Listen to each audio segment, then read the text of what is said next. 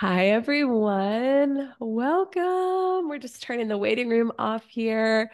So good to see you all. Hello. Oh my gosh. I love seeing beautiful, familiar faces. I love seeing some newer faces. I see some faces from New York last week. Welcome, welcome, welcome.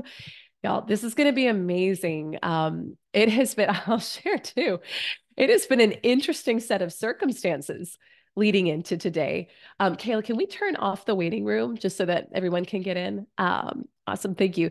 Yeah, it has been a really interesting set of circumstances. So um, I'll just, I'll lay it down because I feel like the universe always has lessons for us that are sometimes comical, but also tie in with the theme of what we're talking about and learning. So um, I was on the road last week uh, speaking in New York City, and I see uh, I see a couple of you from there, which is beautiful. So welcome. I'm so happy to have you here. Um, but I started losing my voice this weekend. And so I just know I may have like a cough drop. I've got my hot tea with me. Um, usually would not have a cough drop in an event like this, but we're going to roll with it. Sometimes that's necessary. And then it just was again comical leading into this this morning. I, uh, my brain woke me up at 1230 and was like, here's the answer to every question you've been wondering about lately in your life. and I told Kayla earlier, I was like, I figured out the solution to some stuff that we were feeling stuck on, but man, I wish it would have come in a different time. And then on top of that, past 48 hours, we have not had power. And so um, literally curled my hair at my nanny's house this morning because she had power. And so it's Zoom hair right now, you know, where like the front looks okay, but you have no idea what the back looks like. I'm fairly certain right now the back doesn't look great, but you gotta love Zoom, right? so um, so power's been out. And then this morning we had our VIP call for this event. And by the way, shout out to my VIP ladies. Um, I see you. I'm so glad you're here. You all were so patient. I was like, okay, we don't have power, but my hotspot will work. We can make this happen. It did not work. It was terrible. The internet was just not working at all. So we rescheduled that. Um, but then I was like, crap, what am I going to do? We can't host this call with, with the hotspot. It's not going to work. So literally went and found a co-working space, um, booked a meeting room, was running out the door to go, and the power comes back on. I was like, glory, hallelujah, amen. We are here. Everything is always working out for us. But, you know, I was thinking about it actually just a, a couple minutes ago, and I was reflecting on, all right, what does this have to do with worthiness? Because the th- I just, my experience has been the challenges or bumps that we go through on the road to what we want are always tied in with the thing that we want and the, the lesson we're meant to learn in that moment. And to me, a huge part of worthiness is are you willing to do what it takes to show up for yourself? Are you willing to show up? Are you willing to take action as the version of you with your goals accomplished? Um, or are you making excuses? Are you being a victim to your circumstances? Um, are you putting yourself in the game and deciding that you're worth it? And so it was a um, a beautiful lesson in doing that, and um, and I appreciate the patience of my VIP ladies from this morning. So we'll get you rescheduled, but we figured it out, and we are uh, we are here. So anyway, I am so thrilled to be here with all of you today. This is a beautiful group. Um, if you can be on camera, please be on camera. I love seeing you. I want to interact and engage with you. I will, um, I'll have you in a moment share in the chat your intentions because I really want to honor that. Um, and I'll just share a little bit more about who I am, what, you know, what we're up to if you're not familiar. Um, but so I'm Elyse. I am the founder and CEO of She Sells and Superhuman Selling. And um, I am also a wife, I'm a mom. And especially now, at this stage in my life as a mom. I'm so passionate about this work. And we've got mamas in our community. We've got um, dog mamas, cat mamas. we've got we got men. So shout out to the men who are here too. We love you. We appreciate you. We're so glad that you're here. But the thing that moves me so much about this work is I see the impact that you elevating has on your families, on your kids, on the people around you. And what you know, I was I, I joke it's like I think sales is the Trojan horse that people come in here to to learn and to uh, elevate in, but really the transformation, and in my opinion, is much greater than that. And it's a it's a personal transformation that allows you to quantum leap your worthiness, your income, your results. And when you do that, the people around you elevate as well the I see a lot of our uh, community members in here today. So I just want to say I see you. I love you. I'm so glad you're here. And I would say many of you would probably say, probably all of you would say that you are breaking generational conditioning around lack mindset, scarcity, not enoughness.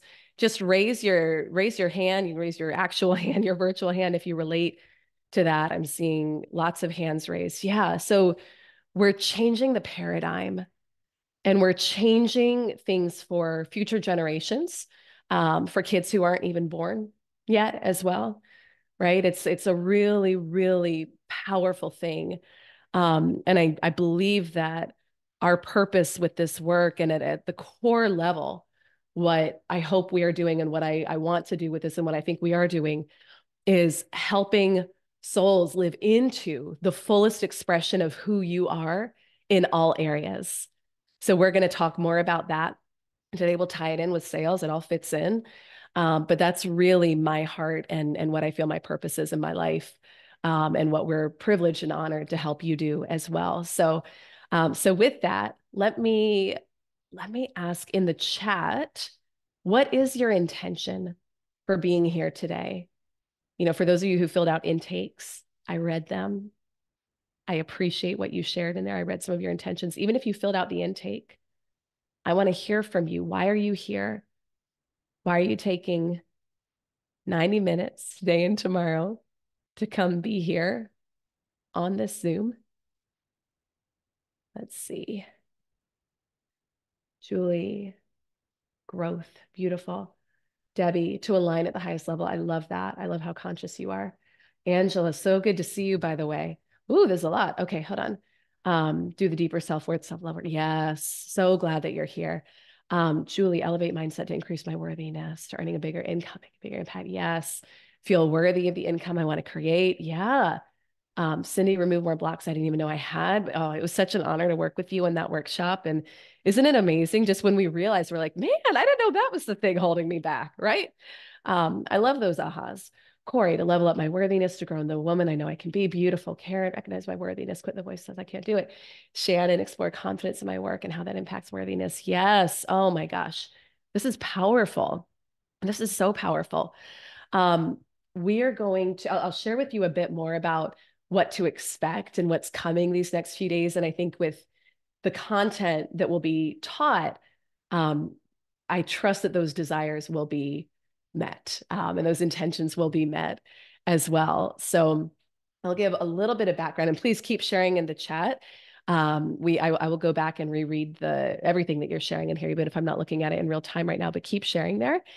Um, I want to take a quick moment just to recognize Kayla on my team. She's the other Elyse Archer, by the way. So she's incredible. She keeps everything running around here. And um, you may get communication from her over the course of this week. So please just be on the lookout, respond. She's phenomenal, but she can answer questions too about um, what we're talking about these next couple of days. And so I just want to give her a huge shout out because the work she does really, really matters and helps um, with this as well. So with that being said, um, I will, I'll share a little bit more of my story in a minute for those of you who aren't familiar, if we haven't met yet. Um, but oh, Sarah, I just happened to catch your, ah, Sarah, I'm so glad you're here. Welcome. Um, I just want to share a little bit more about our community and what our community has done, because I think that has been the most power, excuse me, powerful thing to witness over the past three years. Um, I didn't have an awareness of what was going to happen or how people were going to elevate or grow um, when when this company was just a dream and a vision. Um, but to this date, we've served close to 300 clients across the world. Um, we've worked with and served New York Times bestselling authors, uh, top 10 podcast, not top 10%, top 10 podcasters in the world, um, eight figure CEOs and founders, celebrity names that you would know, uh, the number one rep in the world for Salesforce, as well as a lot of clients who are earlier on in their journey. And we've also been privileged to serve and work with clients across probably every industry you could imagine. So, entrepreneurs, um, sales professionals, B2B, B2C, real estate, mortgage, finance, insurance, tech sales, network marketing, direct sales, coaches, consultants, speakers. And for the clients who come in and implement what we're going to be talking about today and tomorrow as well, um, they do things that most people would say are not possible or would be very challenging. And in fact, you'll hear from one of our clients today, who I'm so excited to introduce you to. She's a newer member of our community. And I think um, she embodies what it looks like to do this work and to be available to Quantum Leap. So you'll hear from her a bit later today. But we have we have witnessed and seen things like clients uh, in corporate doubling their income in anywhere from three weeks to six months. Um, new entrepreneurs going from zero dollars in revenue to literally generating 50K months within six months. Uh, we have had a client who was stuck at 10K months for over a decade uh, make $270,000 in 90 days as a result of what we're going to be talking about the next couple of days. Uh, we have had clients in corporate triple their income and break sales records after having, again, been stuck for over a decade at the same level. Um, and then beyond that, the, the, this doesn't just apply to your business results because how we do one thing is how we do everything. So when we up level our sense of self worth and when we become available for more in our lives, it's not just about the money. We've had clients heal health conditions. We've had clients get pregnant after trying for a long time and not being able to get pregnant. Literally had a client get pregnant off the after the first call. She was like, "I'm feeling good. Let's go." Conceived a baby right after the call. So I was like, "This stuff works for a lot of things." Um, we've had clients shift and heal relationships and so, what I'll say though is that for every single one of them, probably what they would tell you is the actual gift in that, aside from the results and the incredible results, was who they became. It's who they became because our level of results will never supersede our identity. All right. So we have to craft and step into the identity of someone who triples her income, uh, launches the business, does the thing, feels worthy to receive. And so, over the next couple of days, what I want to do is help you dismantle where some of the, like Cindy was mentioning in the chat too, like blocks I didn't even know I had, help you dismantle some of the places where you may be blocking yourself from what you want without even realizing it. Um, and so I'm excited to dive into this with you. And so we'll talk a little bit about the context for this training. So last month we did a master class, your first six figures. Who all was there for that? I see a lot of familiar faces who were there for that, right?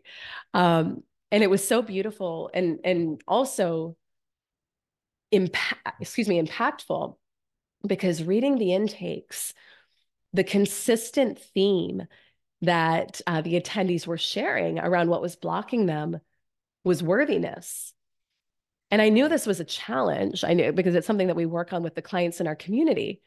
But it was just so interesting to see again and again and again I don't feel worthy of what I want. I don't feel worthy of what I want. And so show of hands and this is this is a safe space like I'll share with you some of the ways I have struggled in this area um, over the next couple of days but who here is presently aware that that's a challenge for you you have goals, you have dreams, you have vision. It's like almost every single hand. Isn't that interesting? I'm seeing yes in the chat. Isn't that so interesting? So I was looking at that and I was like, holy crap, we need to do our next live event on this. And it's so important that you feel worthy of everything you desire. Now, most of us, I think we come into this planet with inherent worthiness. Like I look at our two little guys and they're just like, gimme, gimme, gimme. Like they're totally fine asking for what they want. Right. And I think each of us comes in that way. And then what happens? There's conditioning. Um, it can be societal, it can be parental, a lot of the stuff is it's epigenetics. It gets passed down generationally as well that we're not good enough. We're not worthy. We don't look the way we're supposed to look. We don't uh, talk the way we're supposed to talk. We want too much. We want too little. All this sort of stuff, right? Um, and so this goes on to impact the results that we get in our business and in our career, as well as how much money we're making. And I see the most beautiful visions and goals when clients come into our community and when they enroll in our programs um, and some of the things that they're looking to do with more money. Um, and I, I see things like I want to feel prepared to have a family. I see things like I want to finally feel free.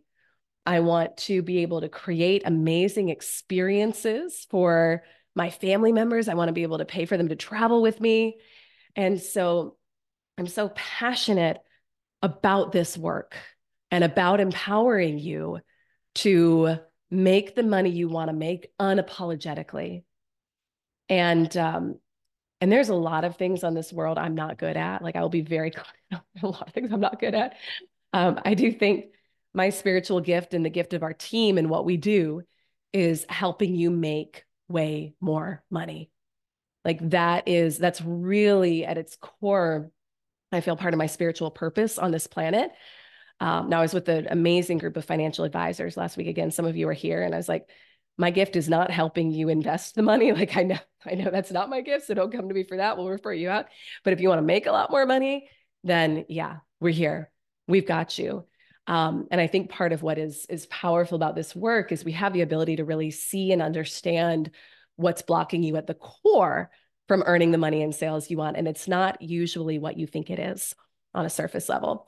Um, so with that, I will just say, because I'm going to share a little bit of my my background and my story momentarily, but y'all, I struggled with worthiness for so long. I did. And I didn't even realize I was because on the outside, I looked like I had it all together. And I don't know if any of you can relate to that, but I was for probably, oh my gosh, over a decade, like high performer right? So high performer, top of the leaderboard in my corporate job, um, all like the person people would go to for support, for coaching, for training, which is actually part of how I got into coaching in the first place. But my level of self worth was so low. Um, it was so low. And I thought about, I think I'm going to share some embarrassing ex boyfriend stories today and tomorrow. I've had these stories pop in my mind where I'm like, I have never shared that publicly. And it's totally embarrassing, but it demonstrates the low self-worth, self-consciousness I was in. So this was like my early 20s. I uh I was on a first date with someone and we were out at a restaurant and he was a good looking guy. And the waitress comes up and she says, Can I give you my number to him? Like we're clearly on a first date. And he looks at me and he says, Do you mind if I take it? And I, I, know, like now I'd be like, this is, but I was attracting on the level of such low self worth. So he looks at me, he says, Do you mind if I take it? I was like, Okay, go for it. Because I didn't know what to say. But then the worst part is, I went on to date this guy for years and almost married him. so, anyway, I share that to say we've come a long way. Like that would not happen today. but like I said at the beginning, how we do one thing is how we do everything. Um, oh, Corey, do we have a similar story?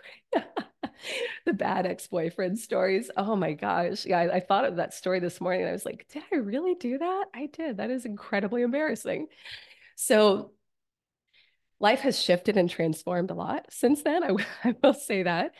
Um, but I'll, I'll share too just a little bit of how this was impacting on a on a business front um, and on a money front as well. So in that same time period in my life, I was working really, really hard. So again, in corporate, um, working really hard, high producer, high achiever. But no matter what I did, I would always cap out at the same level financially. So um, grinding, hustling, working all hours. No matter what I did, though, I could never break past that low six figure mark. And I wanted more for my life. I wanted more. I wanted greater impact. I wanted greater freedom. I wanted um I wanted just a different life and lifestyle, but I didn't see myself as someone who could have more. I didn't feel worthy of that. And so I'm not going to go into the whole, we've got too much to cover today. I'm not going to go into the whole story, but what I'll say at a high level is within six weeks of implementing what we're talking about today, I literally broke through in an insane way, turned my annual income into my monthly income after having been stuck and struggling for over a decade. And um, and and that is now my heart and my mission is to help as many others as possible break free from any and all limitations that are holding them back and help you experience that fullness of who you are. So um Liz, yeah, you probably know who it was. so Let's talk about what to expect. Um, today is going to be all about worthiness. So, today we're going to be talking about elevating your level of self worth so you can easily accomplish your goals. Uh, because it is so true that your level of income will never exceed your level of self worth. So, if we want to accelerate and elevate our income, we must become a match for that. We have to become someone who feels worthy, abundant, prosperous, um, who's great at receiving, which for many of us, especially as women, we have had challenges with in the past. Um, like I said, we're going to do a client feature. So I'm super excited to bring you um, one of our amazing community members. And then my goal is that we have some time for open coaching and Q&A at the end. Tomorrow is all about money and wealth consciousness. Uh, we are going to do a secret lesson tomorrow, only for those of you who are there live on seven figure wealth energetics. So come live if you want to get that because it's going to get cut out of the replay. And uh, we'll do a deep dive into money, wealth consciousness, how to receive more, up leveling your financial set point. Uh, we will share tomorrow some special opportunities that we have going on. We won't do that today, um, but we do have some special opportunities. So we'll share more of that tomorrow. And so, with that, I would say, let's get into it. Uh, let's be be full on engaged on camera if you can. Are you all ready? Are you excited? Are we ready to roll? Okay, beautiful. I love it. I love it. So let's talk about worthiness today. And I want to lay the foundation of this before we go any further on something that we teach um, called the four quadrants of quantum sales growth. And these four quadrants really came about when I looked back at how did I go from struggling for so long, feeling like making money was always hard, feeling in anxiety and fear on sales calls, um, feeling unworthy of what I wanted? How did that happen to then shift into, to me, it now feels like money is super easy. Like money is the easiest thing in the world to make. And I want you to listen while we talk these next few days and, and you can borrow my belief and borrow some of the things I say if they make you think differently, if they resonate, if you're like, ooh, what would that be like if money was the easiest thing in the world for me to make? Well, guess what? I had to borrow someone else's belief first that that was their truth. And then I started practicing that myself. So, what would it be like if you believed that? Um, and now, it, the the way that I'm able to exist and run my life and my business and my company and what we've seen our clients do as well is step into such a state of flow and receiving and um, and much higher level results than they were getting previously that I looked back and said, what what shifted? What is this model? How do we create a model around this so that other people can replicate it and have that same experience? And so we created this model we call the four quadrants of quantum sales growth. So I'm going to share this with you here to lay the foundation and um, and we'll get into it. If you can, Kayla, can you just confirm for me that you can see my screen okay? Okay, awesome. So we got this. Beautiful. Let me expand this a little bit here. Okay, the four quadrants of quantum sales growth. So these are the foundation of everything that we teach in our curriculum, with our programs. So the first, we call these the four M's. So hopefully that makes it easy to remember. The first quadrant is mind over matter. Now, that is not what you have probably been taught it is. Because when we think of mind over matter, what do we think of? It's like just push through, right? Don't think about how you feel. That's not what I mean by this. I actually mean literally your mind determines the physical 3D matter and reality in your life. So this is actually what our upcoming event is going to be about in April. So I know some of you are registered for that. And I'm super excited to see you there. Um, but this is about neuroscience. This is about rewiring your brain and your beliefs for anything that you want. And it is about that core identity work to help you become, to help you see yourself and step into the self concept of someone who naturally and easily has the results you want. And sometimes people will say, they'll, they'll, they'll start the work and they'll start setting bigger goals and do and doing the work in our programs and they'll say how do i know that my quantum leap is on the way how do i know that i'm about to make way more money? How do i know that what i'm doing is actually working? And my answer is it will happen when it feels natural for you. So if you want to go from 10k months to 100k months or from 0k months to 10k months when is it going to happen? It's when that next level goal feels natural, when you can think about it and it hasn't happened yet. But remember, your current results are old news. Everything in your current reality is old news based on how you were thinking, feeling, and acting in the past. But the next level will happen when it feels natural, when you can think about a 10K month, a 50K month, a 100K month. And it's like, of course, right? Now there's work that gets to be done to get you there. And that's part of what we teach in this quadrant. But this is the first one. The second, and we're going to work on this tomorrow, is money. So each and every one of you has a financial set point. Just like we all tend to have a weight set point, we have a, a place we feel kind of natural and easy and comfortable, whether it's where we want to be or not. We also have a financial set point, whether it's where we want to be or not. What is it? It's usually what you saw your parents earn right? That's like for me, I I was like, if I can just get out of college and make six figures, I'll be good. So I got out of college, I immediately made six figures, and then I never made any more, no matter how hard I worked. I had no idea that I had a financial set point. So what's beautiful about this is that you can you can set your set point wherever you want it to be. This is where the inner work comes in. This is where the worthiness comes in. This is where community and being in a powerful group of people who are also raising their standards comes in. So that's the second quadrant. The third, masculine and feminine energy. Now, we're not going to get too deep into this in this event. And I know, especially for some of you who may be newer in the community, you may be like, what is this? This sounds weird. I tell you, when I had my own quantum leap experience, I had never even heard of feminine energy. I was like, what is this?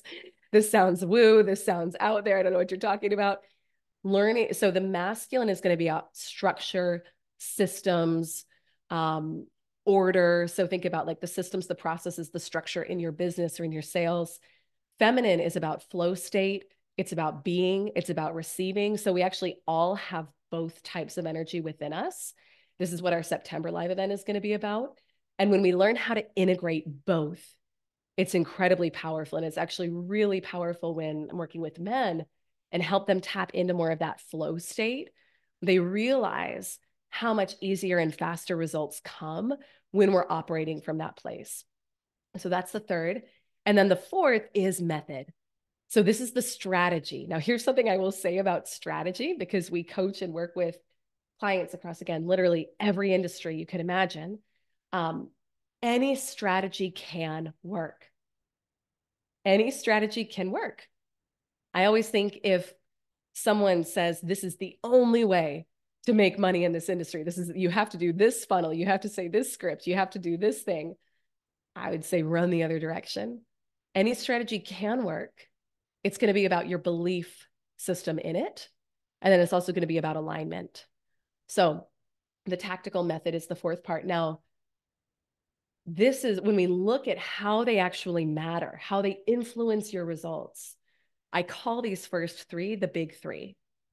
So mind over matter, money, masculine and feminine energy. These are the big three. According to neuroscience, these three, so the inner work, the self concept, is responsible for 95 to 98% of your results.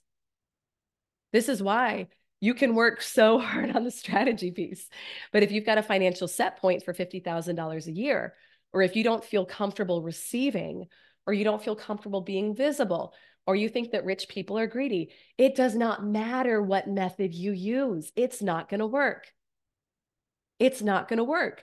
So, this is why we layer the tactical method on top of the inner work. So, the way that this actually looks when we're working with our clients and in the curriculum here, we call this the superhuman selling methodology. The big three here, these are the core of everything we're doing. And then we layer the tactical strategy on top of those. And so it's laid out this way in our curriculum. We teach our programs this way as well. So everything is layered on top of those big three. So the worthiness piece is everything. The worthiness piece is everything, and it ties in with each of those big three in different ways. Um, and today I'm going to talk to you a bit about a concept we call selling from wholeness. I'm also going to talk about um, three worthiness blocks that we're often not aware are there.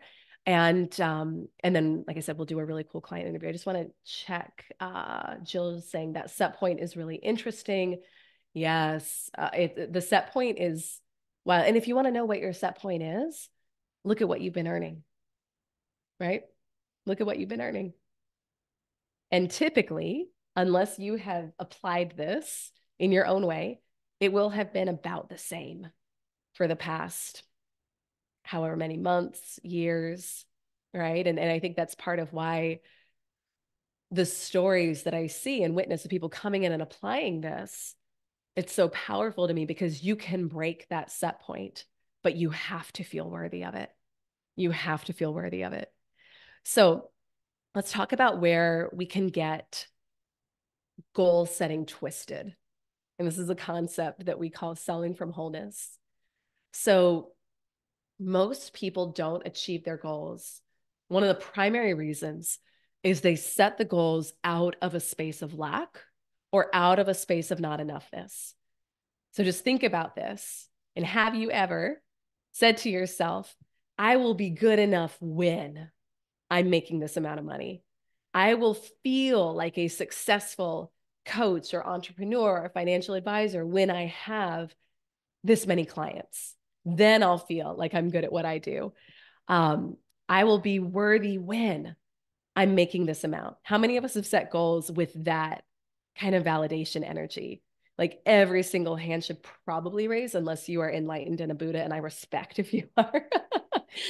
but we we are taught that when we have this, when we achieve this level of success, then we'll be good.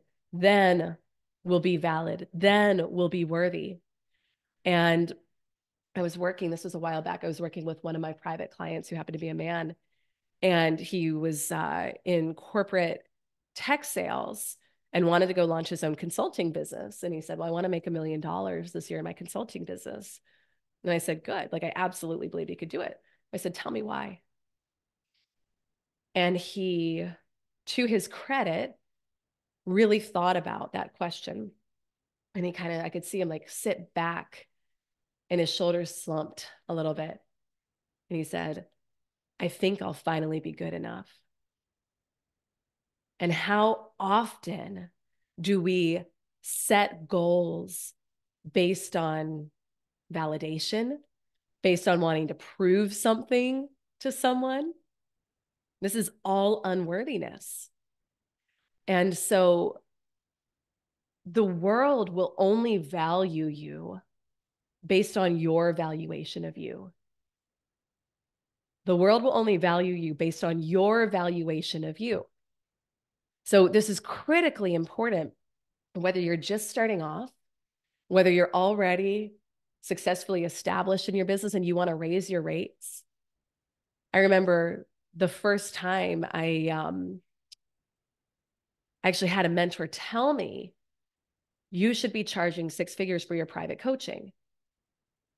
And when she told me that, I was like, come again? Like, wasn't charging that. I was charging about half that. And she was like, yeah, like it's it's that good. You need to start charging it. Now, I needed her belief at that point. I needed so, and this is part of the power of mentorship and coaching. I needed someone else to look at me and tell me it is worth that. You should charge it. But then I had to buy into that before I could start charging that and receiving that.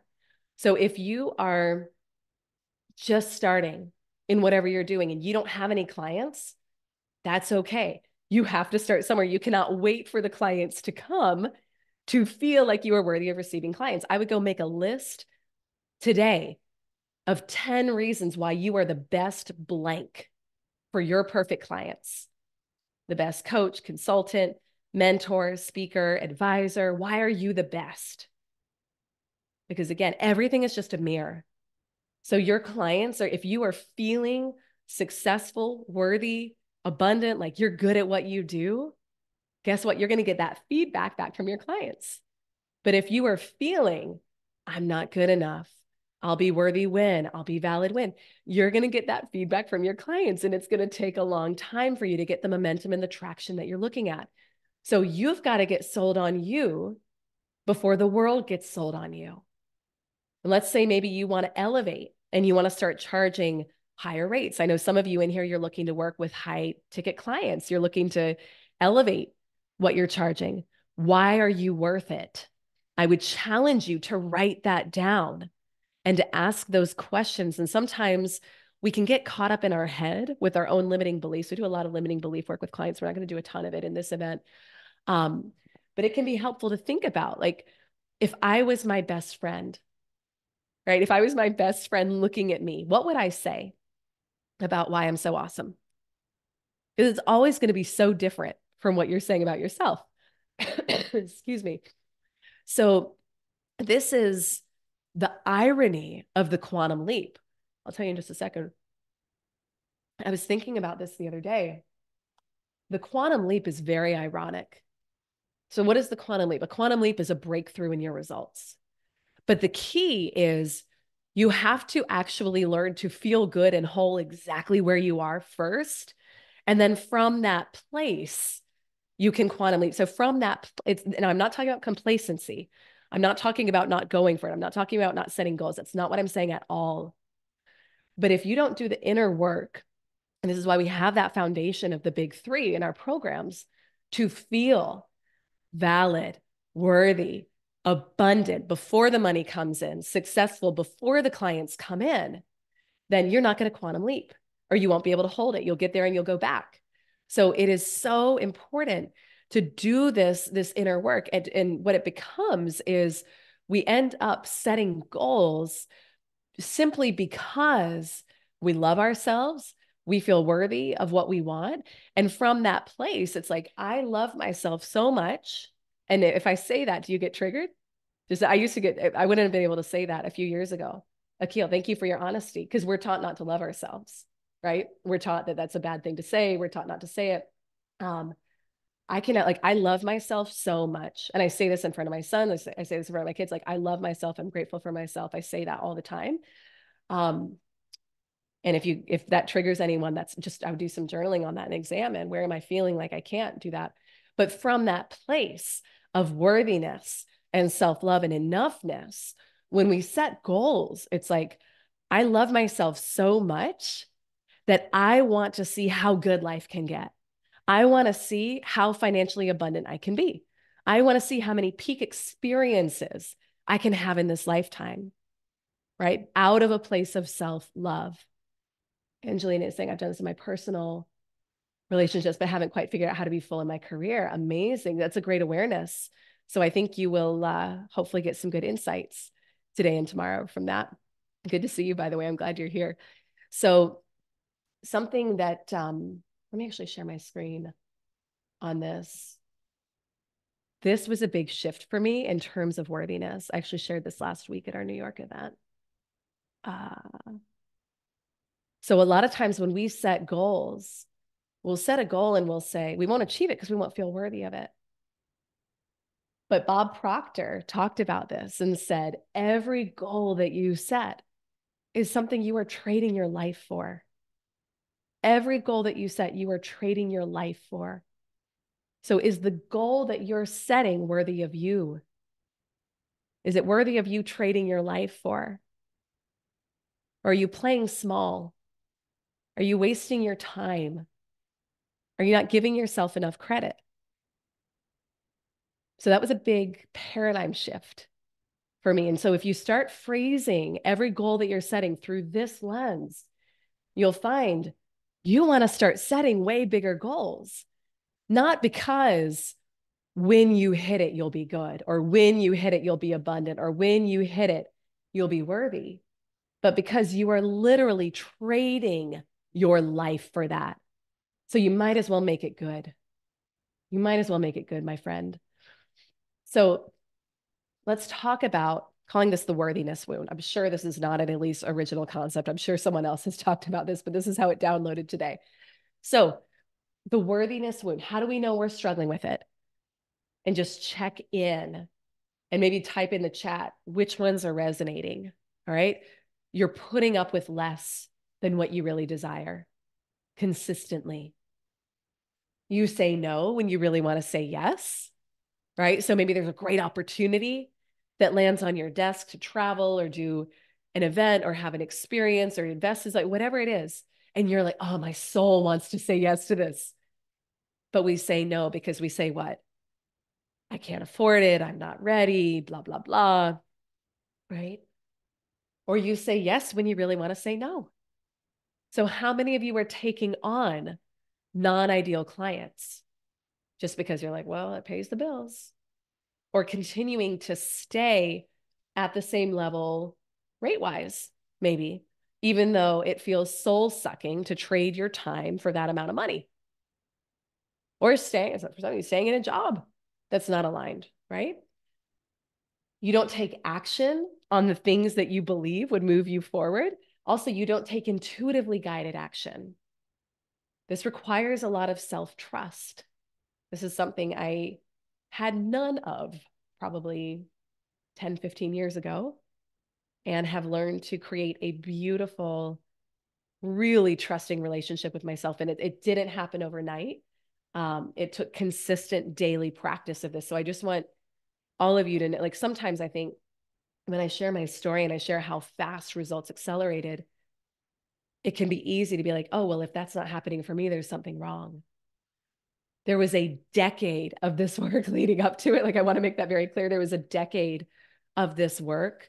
Um, and there continues to be daily deepening in my self-trust my worthiness my availability to receive etc like it happen it has to happen every single day um you set goals that honestly don't excite you i don't think we should set goals we know how to do i know I, I shared last week at the event like do not ask me to come in and teach your team smart goals i'm sorry i used to go in and teach them the realistic part i'm not a fan of i think any goals that are realistic that we already know how to do are a waste of our time I think we should be setting goals that are worthy of us, that force us to expand and show up as completely different people, think in a way more elevated self concept.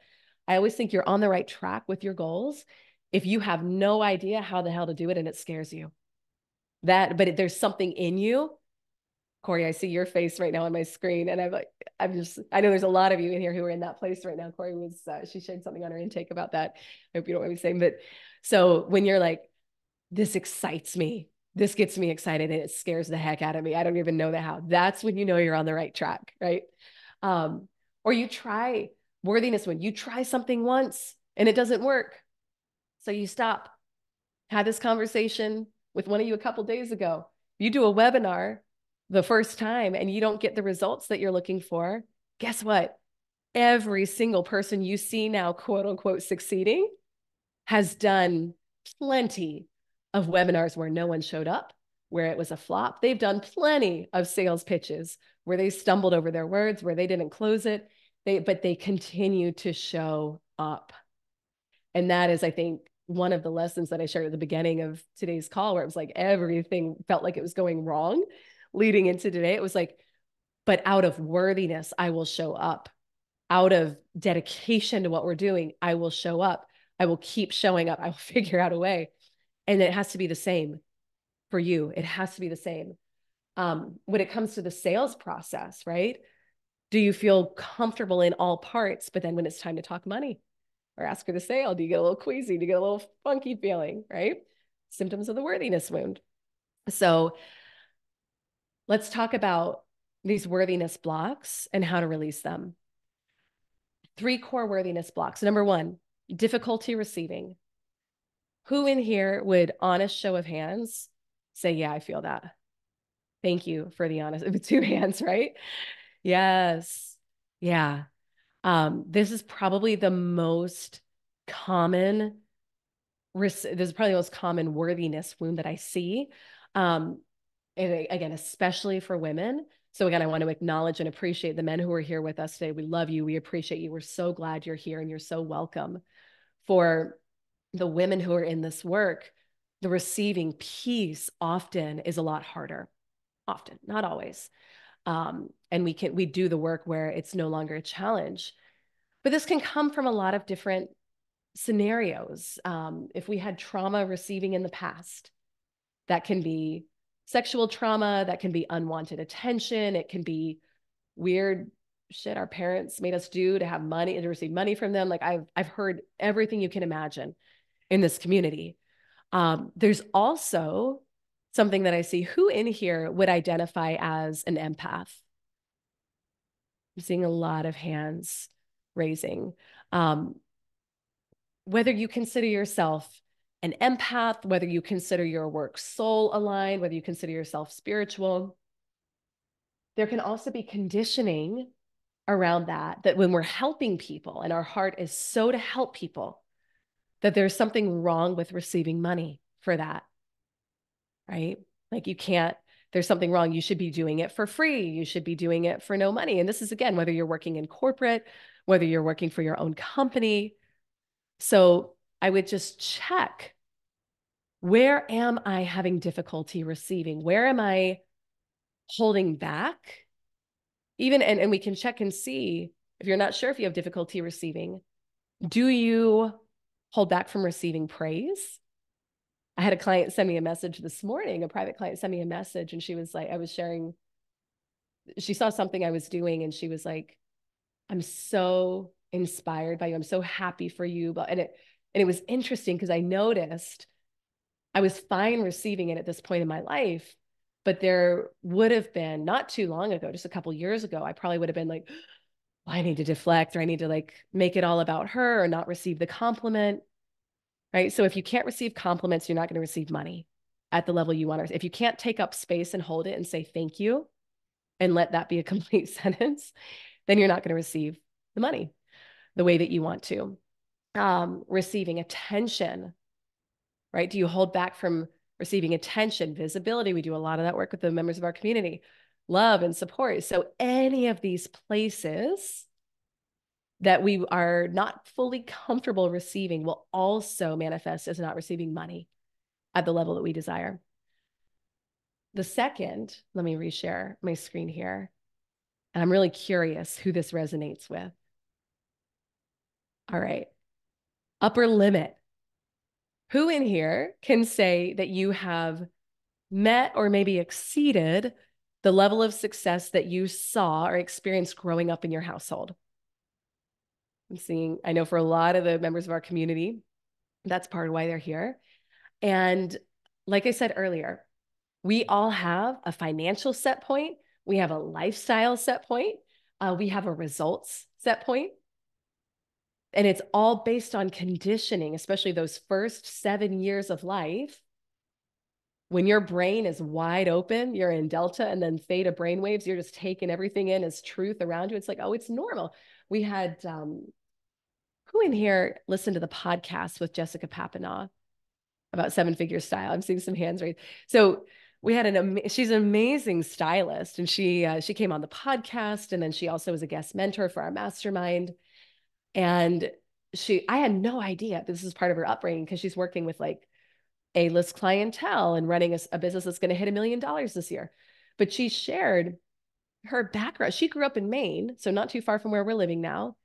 No running water, no electricity, no heat.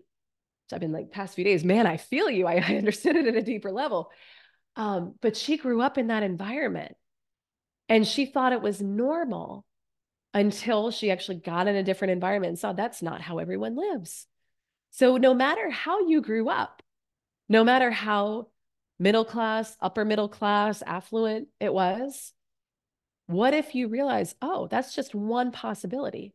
That's just one option for how it could be. And there's levels upon levels upon levels that I can reach with expanded awareness. So, something that I am so passionate about and I want to instill in you if any who in here feels like you're like settling or maybe at a stuck point or you're like, man, I've reached a certain level of success and now I'm like, oh, it feels tricky to get to the next level. So, like I mentioned before, I want to lay this on the foundation of goal setting from wholeness, selling from wholeness. This is not about you need to keep expanding in order to be good enough or in order to be worthy, but this is about recognizing that you are literally energetically wired for expansion. You are wired to keep growing. This is why we hit a certain level of success. And if we don't keep growing, then we feel discontented. People develop addictions. They get into all sorts of stuff that's not empowering because they have made themselves wrong for wanting more. And so there's a, I actually want to read to you um, Price Pritchett. I felt called to read. Who in here has read from Quantum Leap Strategy before? So, oh my gosh, y'all, if you, uh, I see Debbie's hand raised. Yeah. If you haven't read this book, read this book. So, I read his first book, U Squared, after having my first quantum leap experience. And I was like, oh, that explains it. But I didn't, re- it helped me understand what I had been doing without being consciously aware of it. One of the things that he says, I'm going to read you, it's a couple of paragraphs, um, but it struck me so profoundly. So this chapter says, it's called Choose a Different Set of Risks. And he says, every day we inhibit ourselves. Instead of risking something new, we're prone to live with the old familiar risks we've been accepting so long that we are oblivious to them. Such an unwillingness to accept another set of risks means we're trapped hemmed in by habits, presuming we're playing it safe when we're merely avoiding the unfamiliar. Instead of reaching for what we most want, we often think, I might not be able to reach it. So we guarantee we'll not get it by holding back. Considering that we might not be able to pull it off successfully, we don't even make the attempt. There seems to be some kind of naive psychological safety we find in not trying as if that insulates us from the discomfort, pain, or embarrassment of falling short in our efforts. It's easy to come up with excuses for this behavior. Just remember, excuses are the enemy. Excuses are doubts double crossing you, acting like your friend, your protector, all the while, all the while disempowering you and admonishing you to respect your limits. It's your potential that deserves respect, though, and not your self doubts. Give yourself a chance to prove what you can do. Risk believing in yourself instead of running the risk of wasting your fine potential and all the excellent opportunities that present themselves to you. The surest way to lose is not to try. If you really want to minimize the risk of not reaching your desires, trying is your only acceptable option. You essentially must go for it. Once again, it's not a choice of whether you'll take a risk, it's a choice of which risk you'll accept. So I don't know. Did anyone in here have like truth bumps show up or holy crap, this is right? So we're always risking something. So again, the question I think he talks about this in the book is is this risk worthy of me? Right? One of my um one of my clients is a woman named Christie Hunter Arscott, and she talks about making bold moves. So redefining risk as I'm taking this risk to I'm making this bold move, right, in favor of myself. And so we have to redefine that risk. And I think the greatest risk we can take is not going for it and not seeing the fullness of our potential. So that's the second. And then the third and final, let me share my screen here scarcity mindset. Scarcity mindset. Woo. Now, this ties in with the money piece. Okay. Um, but there's this weird conditioning that you receiving what you want is somehow going to hold someone else back from receiving what they want. Right. Or we think somehow we're hurting someone when we receive what we want. Who has run into that, stumbled into that, where it's like, oh, well, I'll hold back. Yeah. I think it's um who uses the analogy of health? Is it Abraham Hicks? I don't know. But it's like, oh, if I'm if I'm healthy, then you're not going to be able to be healthy too. So I'll hold back from getting healthy We do this with money all the time, but then we don't do it. We don't even realize we're doing it. I'll hold back from being healthy so that you can be healthy. Right. And then we make decisions that aren't in our best interest. And this, so this is my second embarrassing boyfriend story. And that it actually at the time, it like felt like the right thing to do. And I think honestly, I was, it all turned out great. But um, I was in a situation once years ago where I was going for a job in marketing and I was up against um, a person I was dating at the time. We're going for the job, both going for it, and they offer it to me. And I remember thinking, oh, but if I take it, what is he going to do? He's not going to be okay. And I, I don't know, I like him, I love him, whatever the feeling was at the time.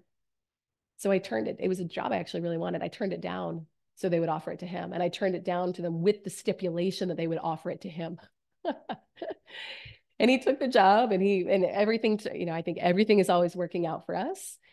But it's that scarcity mindset that i didn't even realize i had that now if that were the case i would say brilliant. This is if it's what i want this is what's meant for me. That means there's something better for him. So i'm going to trust that he's empowered enough to go out and create that for himself and not feel like i have to give up what i want so that he can also have what he wants so there's a concept in the science of getting rich that talks about creating from the competitive plane versus the creative plane. And so the competitive plane is scarcity, competition, lack. Um, it's so much of how the business world is done today. And it's something that, frankly, I desire to shift. And I, I hope that we will make as big of a shift as we can in that mentality uh, with the work that we're doing. The creative plane is the plane of abundance. It's the plane where there is more than enough for everyone. It's the plane where we we're not so concerned about what is so and so getting or what are they doing or what are they launching or oh they've already done it or oh she got that client so now I can't there's not enough clients for me. Uh-uh. The creative plane it's all about how can I step into that highest and fullest expression of myself with my work knowing that there's more than enough opportunities for everyone. And it becomes a daily focus on how can I make this better? How can I grow this? How can I give? There's another science of getting rich concept called the impression of increase, which is how can I pour my very best energy, my very best creative energy into this program I'm launching, this email I'm writing, this call I'm delivering for these clients, and trust that that will get me the results that I'm looking for. So, with stepping out of this scarcity mindset, and again, we'll talk a lot more tomorrow about money and wealth energetics, and we'll do the seven figure energetic secret lesson, which will be really fun. Um, but there's two powerful ways that I have learned to think about money and opportunities that have really transformed my relationship. Because I used to, if, if any of you were like, Yep, I'm on the competitive plane. I feel like there's not enough. I'm nervous. I feel triggered when I see someone else succeeding the way the way I want to succeed trust. I have been there. I've experienced all of that. Um, and again, it just it took daily reconditioning, like what we're doing here. Um, but two powerful analogies, and some of you are there from the workshop we did um, with Michelle's coaches a couple of weeks ago. So you you heard me say these, but I think reinforcement is always good, and maybe you haven't heard these if you uh, if you're newer to the community. But I like to think about money and opportunities like breath or like air. And so I think I've got a slide for this one. There we go. So the most powerful energy that you can be in to receive what you want, and a lot of it has to do with worthiness, is circulation and flow. So I want you to think about for a moment how what is your relationship like with your breath? It's probably not something you think about a lot, right? You kind of just assume it's there. You're not stressed about it. You're not worried about it. You're not thinking, you're not counting your breaths. You're not budgeting how many breaths am I going to be able to take before the end of the day and still have enough? What is the energy behind it? It's knowingness, it's certainty, it's ease. When you inhale, do you feel unworthy of the breath? Do you worry that you inhaling is going to mean there's not oxygen for somebody else? Right? It is, it is an ease, it is a knowing, it's something we don't even think about. And then when we exhale, We're not freaking out about it. We're not like, oh, where's my next breath going to come from? Right. So, this, when we can tap into this energy, it allows us to receive what we want and what we need with ease and gratitude, worthiness, and then to release money, things that no longer serve. Got a lot of women in this community cleaning out the closets. I've heard from a lot of you, like getting rid of bags and bags of clothes, right? yeah. I, I get rid of stuff all that I shared on Instagram a little while back. I, I got rid of a Louis Vuitton purse that was like the energy behind it wasn't great because of who had given it to me. I just got, I donated it to Goodwill and I was like, go.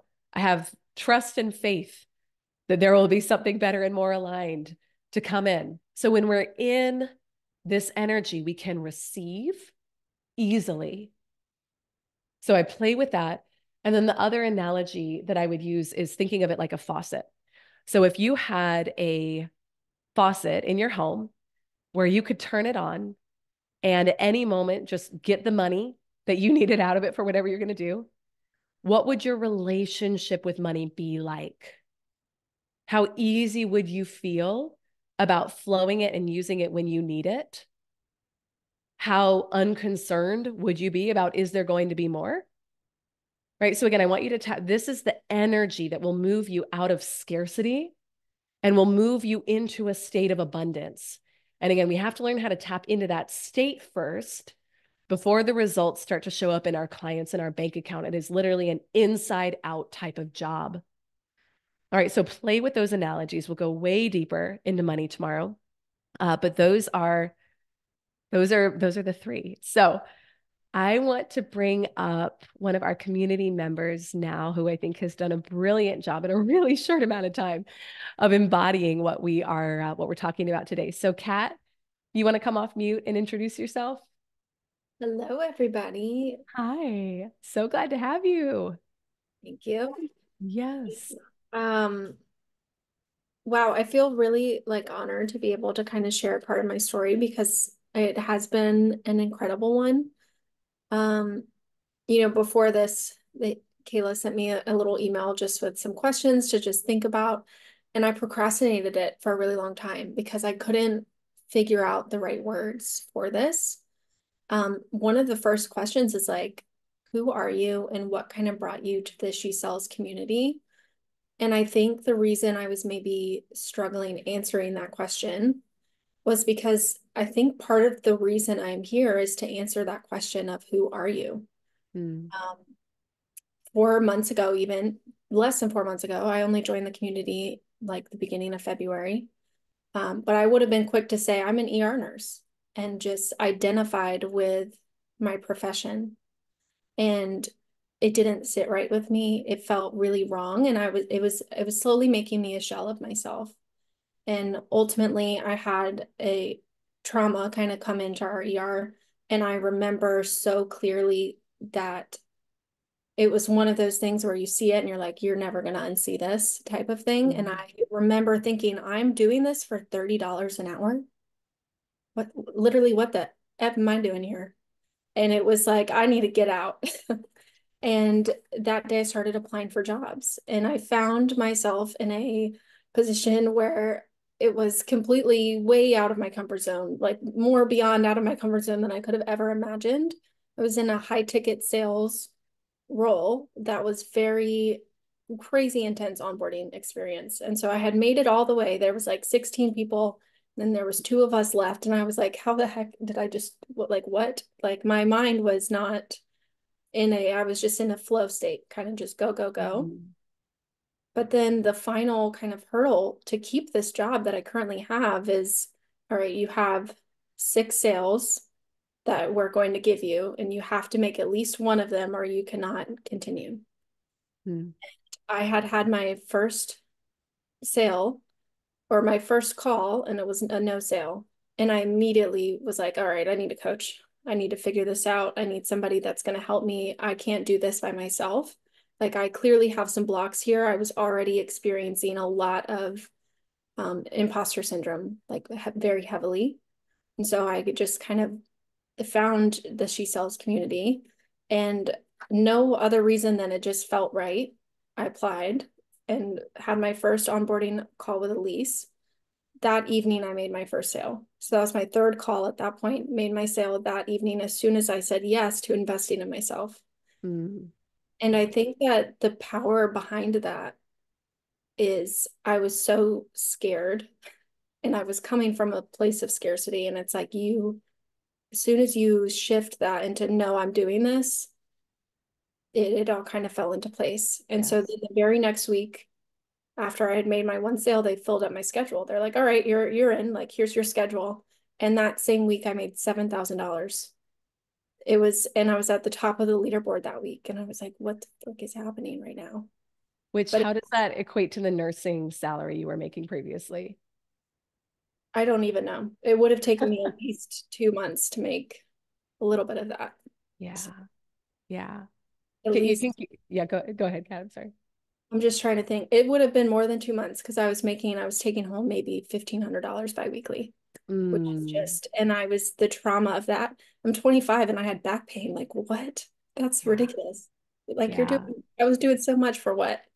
Um, and I knew that it wasn't aligned with kind of where I needed to be.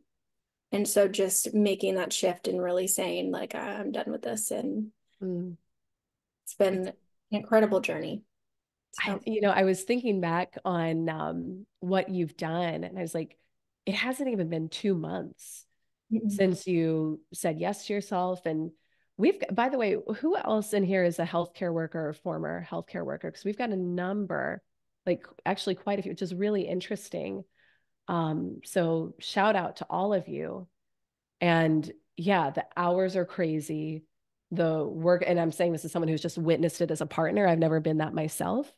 Um, but I can only imagine making that shift. And I remember, I remember that call with you because again, it really wasn't that long ago. And I remember that call, and it was like, um, you were like, I, I could feel the determination in you. I could, it was actually your energy. I was like, oh, she's the same energy I was in right when I quantum leap. And that's why I was so excited for you because you were like, burn the ships.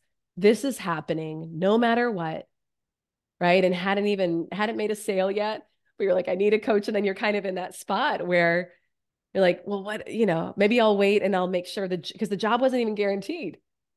Was right. It? How did you decide? Go, go ahead. Were you going to say something else? I, I just, I get excited about your story because I love it and I relate to it. But what, I have another yeah. question. What were you going to say? I was yeah. just going to say it was far from secured. And mm-hmm. my mindset was that I wasn't going to be secured. And feel like you were probably about to ask like what, what changed. And it was when you asked me, it was like, well, what would the person who has what you want, what would she do? And I was like, oh, mm. oh, well, here's my card. Because yeah. that's what you have to do. Like she would have not, she doesn't think like that. She's not worried about this. Right. Yeah. She's like, this investment is way worth it. Kat just shared. Uh, yeah, go ahead. Um, go ahead. Two sales later, it, it paid itself. And so mm. it's, this is, it happens the way it needs to. It does. And here's the thing though most people would be too afraid to do what you did. This is the truth. Like most people would say, oh, well, it doesn't make sense to invest in myself until the job is guaranteed, until I have the money, until blah, blah, blah, blah, blah. And to your credit, and I asked that question because I know we have, so I want you to really hear what Kat said about this because we have to start making decisions from the place of if my success were guaranteed, what would I do? That is worthiness. That is how you quantum leap. And it does not usually make logical sense. There usually won't be the money in the bank account, the security. But, but as Price Pritchett talked about, we have to choose a different set of risks. So, to your credit, Kat, you did it. And you said, you, oh, we talked about like that butt clenching feeling, right? Where you're like, oh my gosh, am I really doing this? But there's an intuitive knowing yep. that it's time to act on your behalf. And I remember that night after our call, we had a 10K club call the very next day. And I was like, I just had a feeling you were going to get on the call and say you'd made your first sale. And you got on the call in your really beautiful bright pink shirt. And you're like, I made my first, like, I just, oh, it was so beautiful. So anything else you want to add? To, I've got one other question for you, but anything else you want to add to that? Um, I think that also just if anybody's already in the community and it hasn't happened, like I have only been listening to Elyse's calls. Like Mm. in my headphones all day long is quadrant one. I've only made it through quadrant one and two. I've listened to those modules so many times I can't even fathom it. I have I brought my card just to show you guys this does not leave my Oh. body. It Yeah. is so wrinkled and gross. I probably could write a new one, but now I'm attached to this one. I love it. Yeah. And it's like when you put in the work and you're really like, I'm just, I don't even want to say put in the work because it doesn't feel like work. It feels like, no, this is just my life. Mm. And Yes. it's, it's where I'm choosing to put my brain in into that mindset. Yeah. And really powerful. So I thank love you, Elyse, for all of the information that you give us. Even today, I. I have like a full page of notes, and it's like, thank Yeah. you. Oh, I love this. I, I learn every time I get to like I'm I'm with all of you and and growing and learning this. Like it's to me, it's the most important information we can ever receive. Um, and I love what you shared there about being laser focused. And so this is this is where I think this is the difference from something being a nice to have. We don't quantum leap from nice to have. We don't accelerate really fast from it would be nice to have. We don't accelerate from being like, oh, I'll do it when. It happens when it's a must. And so I shared in my own story, like that 10 year period where I was like, I'm working really hard. I'm, I was still investing in coaching, still doing the things, but it wasn't a must. It wasn't, I wasn't getting uncomfortable enough. And so when things will really change for you is when you're willing to get hella uncomfortable, when you're willing to say, again, it's, I am worth it. I am worth this. I am worth this result. My life is worth this. It fill in the blanks with what this is. And then from that place, you are going to be required to stretch. You are going to be required to take some really uncomfortable actions. You're going to be required to take actions that do not make sense with your present circumstances. But again, present circumstances are old news. So if we base our decisions off of those, we are not going to get the results that we're looking for. We have to start making decisions as the end result, as that kind I think you said in your like the goal version of yourself. Like, what would she do? That's how you have to start doing it. Because from a neuroscience standpoint, it's not until you say, yes, this is happening, and you take action in that. And it's usually some sort of like burn the ships type of action where you're like, oh my gosh, this feels uncomfortable. That your subconscious mind gets the picture that no, you mean business. So if we say, I'll do it when it's in the budget, when it's convenient, when the timing is better, you're kidding yourself. Like, let's be real honest, you're kidding yourself. And that's okay. Like I will never tell someone now needs to be your time. But you've got to make that choice for yourself. So I just want to, I could do a half day seminar just on that topic, but I won't. Kat, I just, I so appreciate that. What would you say? Actually, I have two questions for you. Um, what is the biggest thing that you've learned over the past two months that maybe you weren't aware of before? I know it's kind of like a, I don't think I. No, I think the biggest thing that I've learned has been more about self-awareness. Mm, Because there's so many times that I realized I wasn't, or I was being like overly aware of what other people were thinking about me and like worried about other people's opinions and things like that. Um, this is kind of like a silly example, but maybe a lot of the women in here could relate.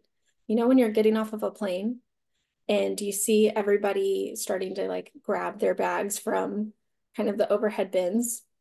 I, since being in this group, have recognized that I was overthinking, like, oh, wait, when this person goes, okay, I'm going to grab, like, I was so conscious and aware of what they were doing and worried about other people Mm. that I was going to be the one to hold up the line.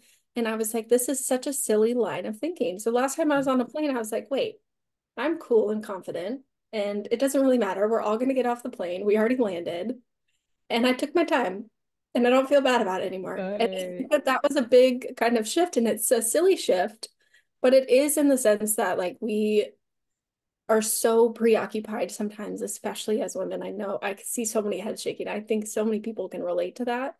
And it's like when you are so self-aware that you're aware you're doing that, it's you can start to make those changes and become more confident as just a person in general business aside, even in those little tiny examples throughout the day. So mm, I love that. I love that. And again, it's like we talked about at the beginning how we do one thing is how we do everything. So, you elevating your self worth, your availability to receive, your financial set point, it's going to translate to how you show up in public. It's going to translate to how much space you take up. It's going to translate to how you present yourself. Right. And, and in every scenario. So, I love that example. What, so final question for you just what words of advice or wisdom would you give to someone who's maybe listening this week and they're they're listening to the material and they're considering investing in themselves and getting involved in the programs of the community?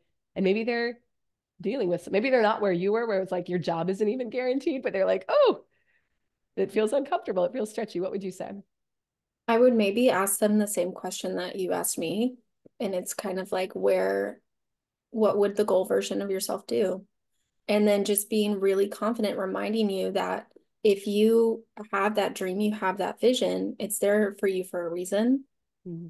And it is, you are capable of actually doing it. Yeah. So believing in yourself and just understanding that it's, it's there for you. You just have to go out and grab it and take it and it will come. Yeah. So good.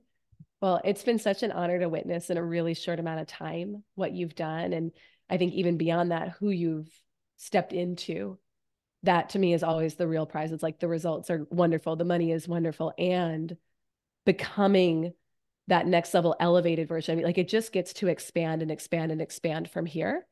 And the legacy that you're creating for future kiddos, for generations to come, it's going to be different, Kat, because of what you've done with your life. So I just want to acknowledge you in that and um, and say it's a real privilege to witness and to see what you're doing and we love and appreciate you thank you i really yeah so happy to be a part of this community and i yeah. i appreciate all of the things that you've given me and the mm. confidence that um, i now have because of this so yeah. it goes both mm. much love all right i love that so here's what um here's what i want to do next i want to take about five minutes and have you all do a little bit of journaling. And then we'll have time for live coaching for about five minutes at the end, which will be really good too. So I want you to take a moment and we're actually going to build off of some of what Kat shared there. And we're going to practice decision making as the worthiest version of you. And this is fun because you have to literally start thinking in a different way and asking better questions in order to get a different type of results. So we talked a little bit about the decision making from the end concept and I want to I want to invite you to journal on it now. So I want you to take a moment and think about something where you're being faced with a decision right now. And maybe you feel stuck or you feel worried or you feel nervous or you feel insecure and there's probably part of you that's like, oh, if I was fully confident, I would do this. But my brain is telling me, mm, hold back, don't do it. So think about a choice that you are being presented with right now. And you actually write this, write this down. And then you're going to journal on what would that worthiest goal level, use Kat's language there, goal level version of you do. The goal is already accomplished. What choice would you make? So I'm going to play some music. I'll give you a few minutes to do this. And when you're done, yeah, Julie, so you're going to, so think about a choice that you're facing right now where maybe you feel stuck or unclear. And then I want you to think about what would the worthiest version of you do? What choice would that worthy, abundant success is already guaranteed? What choice would she make or would he make? Cool. I'm gonna play some music. When you're done, I would love if you type in the chat whatever you feel comfortable sharing in terms of the choice you would make, just so we can support each other in that. And that'll also help me know you're done. All right, so let me play some music and we'll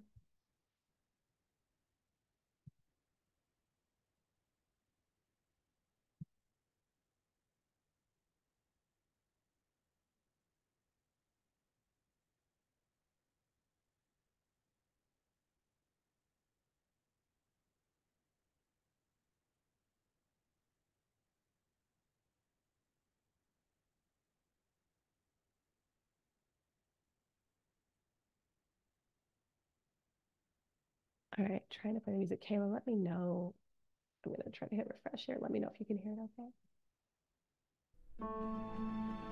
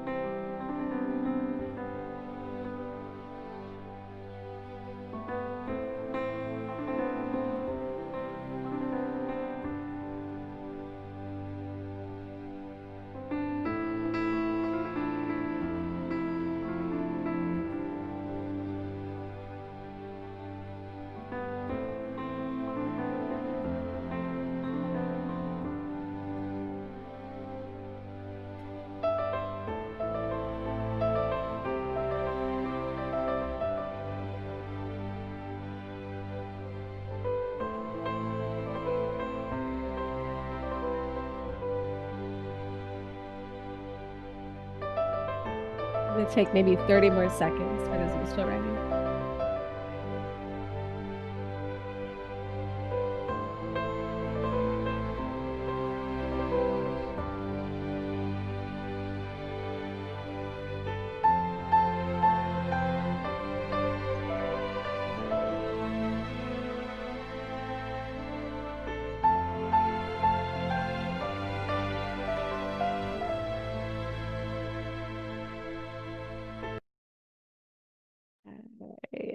Gosh, I like I want to keep going because that song is so good and it's just getting into the good part. Um, that somebody asked William asked who that song is. It's uh, Ludovico Divenire.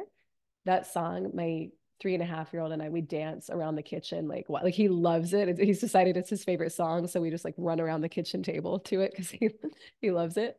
Um, but it's really really powerful music. Getting so okay, so many DMs coming through. A lot of them are private too, so I might I may not be able to get to everything.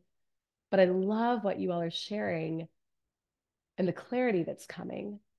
Let me see. Someone had a question. Cindy, you asked, can you repeat quantum leap equals breakthrough? And can you, Cindy, do you want to come off mute? And I'm not sure, I don't think I fully understand the question, but happy to uh, clarify. Thank you. Um, let's see, it was a few pages of notes back. Um, let's see, um, 10 reasons, like, let's see, 10 reasons that I'm the best coach, make that mm. list. And then you had said uh, quantum leap is breakthrough in, and I missed oh, what you yeah, said. a breakthrough. Sure. Yeah. It's a breakthrough in your results. So your results, the way that I think about you. it is, yeah, like doing something beyond the ordinary, doing something most people would say it shouldn't have happened that fast. It shouldn't have been that big, like according to normal, quote unquote. Again, I don't like normal. I don't like reasonable. I don't like realistic. I think that's a boring way to play. But according to that, it doesn't make sense. But so thank you. Yeah, you're welcome. You're welcome. I'm I'm not interested in normal, reasonable, realistic results. I want you all to live and play and get results full out. Um, this is amazing. What is the name of the book? Akil, the um the book I mentioned was Price Pritchett. He's got two. This one is called The Quantum Leap Strategy. It's a follow-up to his first one, U Squared. Both are phenomenal. Um, yes, all right. So here's what I want to do. We got three minutes. We let me give you a super quick preview of tomorrow. And I think we've got time for maybe one coaching question. So if you had a question from today, raise your hand, raise your virtual hand. And um, and I'd love to take at least one. And then while and please, like seriously, right, there's no good, bad, wrong questions. Like this is really um, those of you who are in the community, you know, like you really empower others by asking your question and by um, by getting your yeah by getting your questions answered. Good you found an Akil so tomorrow same time same place uh, we are going to be doing we're talking all about money which i love this conversation. It's like my favorite thing to talk about. Um, and i'm going to be doing a secret lesson just for those of you who are there live on seven figure energetics so that'll be really good you'll want to be there and you could apply it to whatever your income goal is right now uh, but it's going to be super powerful so be there live Kayla will send out the replay a little bit later today. Do we have any questions? Normally we have a lot of questions, like more than we have time for. And if we don't, that's okay. But, or even takeaways, if you want to come off mute and share a takeaway. I'm going to volunteer someone because I like, uh, yeah, Angela, I see, uh, I see you raising your hand. Go ahead. So one of this is way close close to the beginning when we were talking about self-worth and identity and I did a little muscle testing on, you know, I've I've worked with my own parts for a long time, but I just realized this weekend they've all been younger. I was like, well, you were talking about the boyfriend stories. It's like, oh, I know my 20 somethings. And so I muscle tested, and age five to 47 all have self worth issues that mm. I will be working on this week. And I am 49, so that's only seven years of my entire life that are yeah. like, no, we're good. So thank, I had no idea. Wow. I work like I'm a life coach who works on helping people love themselves with open hands. And I had 40, however many years mm. of parts of me with self worth. Thank you wow. for helping me realize that to that degree. Amen. Now I can go do that work. I love that so much. I'm so, I was like, why am I feeling called to share all my embarrassing ex-boyfriend stories? I don't ever share these things on these calls. there you go. There's always a reason. There's always a reason. That is beautiful. Let us know what shows, if you do some of the work between today and tomorrow, let us know what shows up. Um, Julie, lol. Yeah. Brooke, I'm feeling a whole new direction to myself. I've been holding, oh, Brooke, that is beautiful. Yeah. You're, mm. and I know that's good and big coming from you. So yeah, that's so good. Um, all right, you all, you're incredible. Thank you so much for being here. I will see you all tomorrow, same time, same place. If you have questions on anything we talked about, shoot over an email. We don't have a Facebook group for this event. Sometimes we do. So um, shoot over an email if you have questions on anything we talked about, uh, elyse at elysearcher.com. And either Kayla or I will get back to you. And we cannot wait to see you tomorrow. Have an amazing night. Bye, everyone.